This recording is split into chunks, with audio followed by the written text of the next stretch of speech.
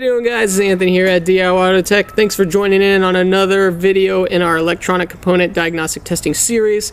In this one today, we're going to be looking at how to test your battery voltage. In this video, we're going to be using our digital multimeter once again. We're going to be looking for voltage at the battery, and we're going to check how many volts your battery has. First, we're going to take our multimeter and make sure we have the prongs in the right setting. We're going to want to put it in the volt side with the ohm setting. That's going to be the one you want your power cable. Your negative black cable is always going to go in the COM area. This other side, this is for amperage testing. We'll get to that in another video. You can either go here on this side for 12 volts, which would be on this end here, or we could go up to the DC input over here, which is a 10 mega ohm, or also this is going to be up to like 20 volts. Go positive to the positive cable, negative to the negative cable. But the beauty of the multimeter is you can swap it too it'll just give you a negative reading. So let's go ahead and test this battery. Positive there, negative cable there, and what do we got? 13.41 volts. And what we can do is we'll just go ahead and replace them on the other side. Let's just get them backwards, just so I can show you what I'm talking about.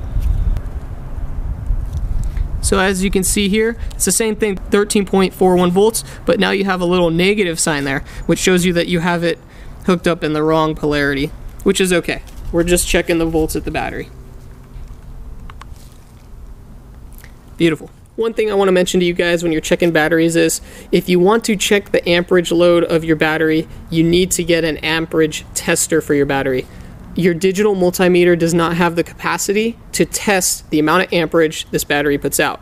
If you were to hook this up and to test amperage, if you were to say plug this in over here and then go to DC 10 amps, the second you touch these probes here, these wires would get so hot they'd probably melt. You might smoke your little your little multimeter here as well, or if it has an inline fuse, it would blow the fuse obviously. So just remember if you're going to test battery amperage, you need to have a battery tester. And also guys, along with the amperage testing that you don't want to touch with the battery, you also don't want to continuity check the battery or check resistance for the battery, which is going to be either that audible click there or that ohm setting there. If you were to do that, you go ahead and touch these, you're going to blow the circuit in your digital multimeter once again, and now you're out for the count for however much you paid for it. So Remember that with checking the battery, you're just checking voltage with your multimeter. That's it. If you're checking continuity, that's for like wires that you've disconnected, they're not part of the circuit anymore. Um, and then if you're checking amperage, you can check amperage if you know it's below 10 amps. You know our batteries are not going to be below 10 amps because they have like cold cranking amps of up in the 5, 600s and such anyways, just keep that in mind. As always, you guys, thanks for watching the videos, liking, sharing, subscribing. Please continue to do so. I look forward to posting more videos, so make sure to stay tuned. This has been another video from Anthony at DIY Auto Tech. Thanks for watching. As always, we'll see you next time.